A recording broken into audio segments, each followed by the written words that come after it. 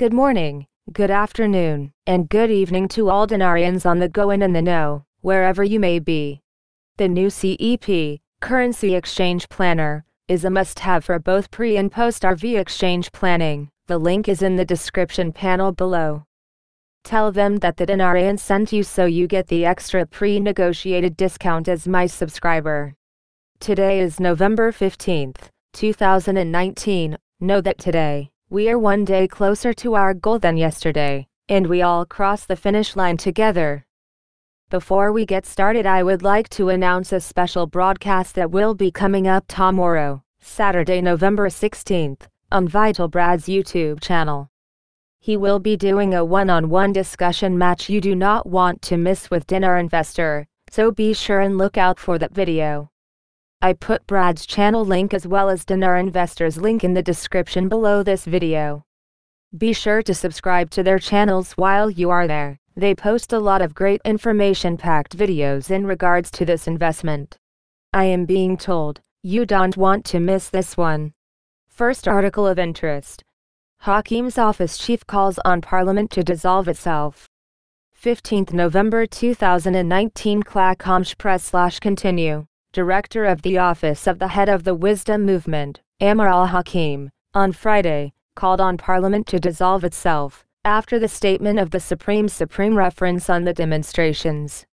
Now, not tomorrow, Parliament has to go to dissolve itself until there are new elections, Salah al-Arbawi said in his Twitter account. The government must resign as a caretaker government, he said. Next article of interest. Supreme reference, Iraq will not be after these protests as it was before. Friday, November 15, 2019 Karbala, the Supreme Religious Authority reiterated the need to maintain peaceful protests and stay away from acts of violence, stressing the need to hold accountable all those involved in acts of sabotage and killings in accordance with the law. He pointed out that corruption in the country is exacerbated by the agreement of the ruling powers to make the homelands share in each other and tolerate some of the corruption of others warning that should not be allowed to interfere with any external party in the battle of reform. In his Friday sermon delivered at the Al Husseini al Sharif's courtyard, the representative of the Marja, Mr. Ahmad al Safi, read out the text of what was received from the office of His Eminence Sayyid al Sistani, as long as his shadow, from Najaf. It once again clarifies its position on the current protests calling for reform within several points intimidation or otherwise, and also condemn attacks on security forces, government installations and private property. Anyone involved in any of these acts, which are forbidden by law and in violation of the law, must be prosecuted and held accountable in accordance with judicial procedures.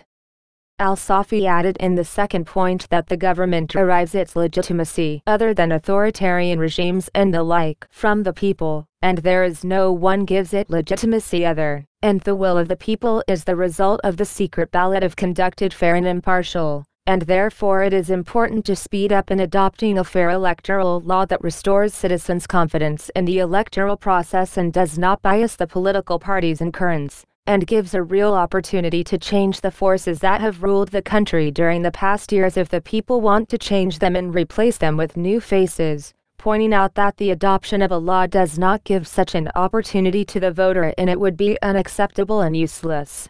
A new law must also be passed for the Commission, which is entrusted with overseeing the conduct of elections, so as to document its impartiality, professionalism and credibility, and popular acceptance, Regarding the third point, the representative pointed out that despite the lapse of a short period since the start of popular protests calling for reform, and the blood of the hundreds of martyrs and thousands of wounded and wounded in this honorable road, but has not been achieved to date on the ground of the demands of the protesters what is worthy attention to it, especially in the field of prosecution of senior corrupt persons and the recovery of looted funds from them and the abolition of unfair privileges granted to certain groups at the expense of other people and away from quotas and favoritism in taking special grades and so on, which raises doubts about the ability or seriousness of political forces.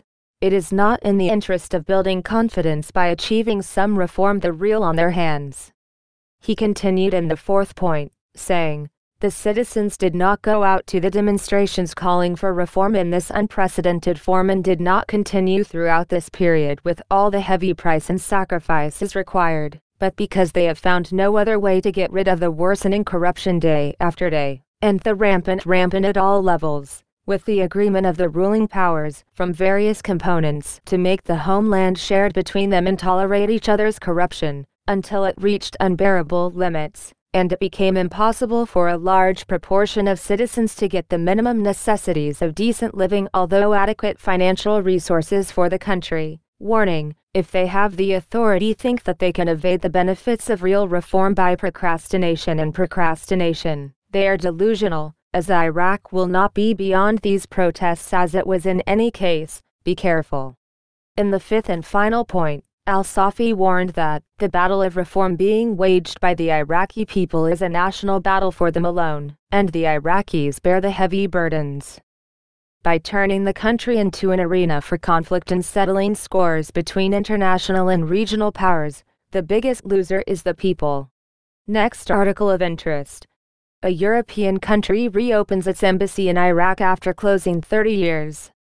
2019 to 11 to 15. Baghdad where Finland announced the reopening of its embassy in Baghdad and promote trade between the two countries after a break of nearly 30 years, at a time when Iraq is witnessing violent protests claimed the lives of more than 300 people killed and 6,000 wounded. The new Finnish ambassador to Baghdad, Vesa Hakkinen, said that his country had suspended diplomatic relations with Iraq with the outbreak of the Gulf War in early 1991. He added that the Finnish embassy will start its work with the assistance of a diplomatic staff of four members in principle. The same building as the Swedish embassy in Baghdad. Next article of interest. After Sistani confirmed the support of the demonstrations. Tahrir Square in Baghdad receives thousands. Baghdad, Reuters, a number of demonstrators from several provinces joined demonstrators in Baghdad's Tahrir Square to press the Iraqi government and parliament to resign and give way to the formation of a transitional government paving the way for early legislative elections, witnesses said on Friday. Witnesses said that the demonstrators will be guests on the tents and marquee in spreading in Tahrir Square and the Garden of the Nation. Thousands of Iraqis flocked to the streets of Tahrir Square in Baghdad, Basra, Nasiriyah, Misan, Diwania, Wasit, Babylon, Mathana, Karbala and Najaf after Friday prayers, and the Shia Authority announced in its weekly sermon today to confirm its support for the ongoing protests since last October. He called on the Supreme Authority of Shiites in Iraq, Ali al-Sistani to speed up the adoption of a fair electoral law that restores the confidence of citizens in the electoral process, Al-Sistani said in a statement delivered by Sheikh Ahmed al-Safi, Under-Secretary of Reference in the city of Karbala, south of Baghdad during Friday prayers, that the battle of reform waged by the Iraqi people is a national battle alone, and Iraqis are the ones who bear heavy burdens and should not be allowed to interfere with any external party any direction. He also called for a new law for the commission, which is entrusted with overseeing the elections, according to witnesses.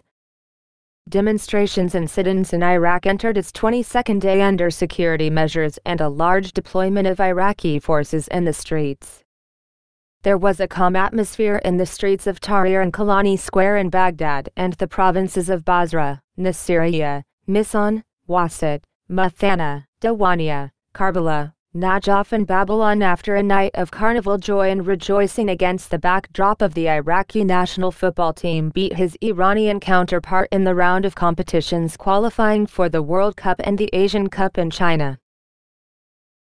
Witnesses said that the demonstration squares witnessed since this morning the largest campaign to clean the streets and lift garbage from the yards of demonstrations with the help of Baghdad municipality cars attended by hundreds of demonstrators in the demonstration yards while witnessed places of contact with the security forces in Tahrir Square and Square Kalani no clashes occurred.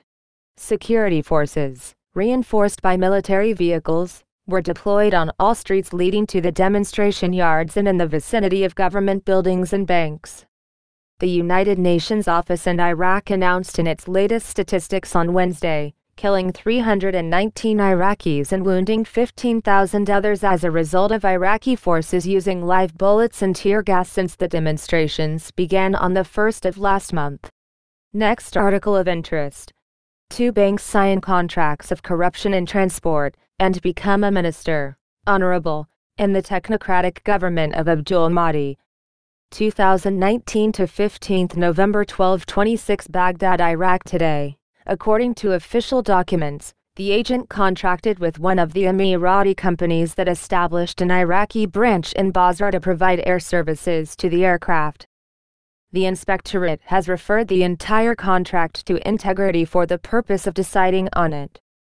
It is also clear that the agent did not stop at this point, but went on to disrupt some vital and important projects, taking advantage of his position also for this purpose, as in another document when he disrupted the project of Air Cargo Village.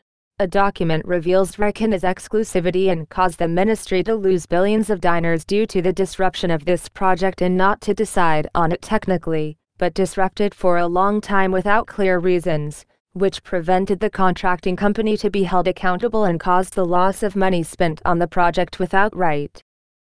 But the question that remains urgent is whether Prime Minister Adel Abdul Mahdi has actually checked the career of his ministers, or has it been done outside the controls and instructions as in other files? The answer we see now in Tahrir Square is written by young protesters in bright letters, and the full answers to all legitimate questions will be completed tomorrow when the Iraqi people come to Abdul Mahdi, two banks, Thamir al-Ghadban, Abdulabi and Ahmed al-Obaidi and the rest of the corrupt ministers to get their just penalty.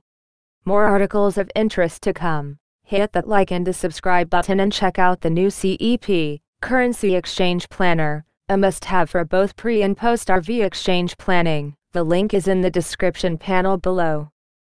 Be sure to tell them that the Dinarian sent you so you get the extra pre-negotiated discount as my subscriber. I encourage you. Knowledge is power. Stay informed and stay alert. Over and out for now, the Dinarian.